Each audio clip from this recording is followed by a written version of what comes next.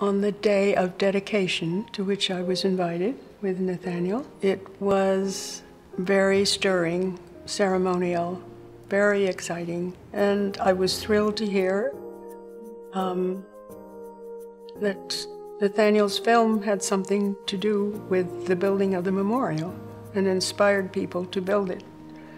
Um, and then I was thrilled to hear that I was called the Louis Kahn's landscape architect and given that measure of recognition which pleased me. And best of all, afterwards on the podium, Clinton had delivered the final speech and Daniel said, come on, we're going to meet, we're going to meet the president.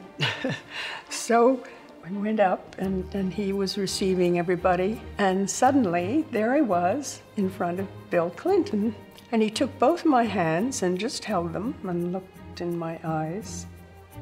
And it was as though, um, you know, the God from Olympus had come down and blessed me. I really felt somehow that there was a blessing in his hands he was very whitened at this point and rather almost frail, and it was a great scene. And I felt that somehow Lou's idea about human agreement was what he was looking for, and that he expected that there would be human agreement in the room. And I suddenly felt absolutely abs absolved of any um, resentment or neglect or whatever, I was thrilled and I just felt, ah, yes, it's been done.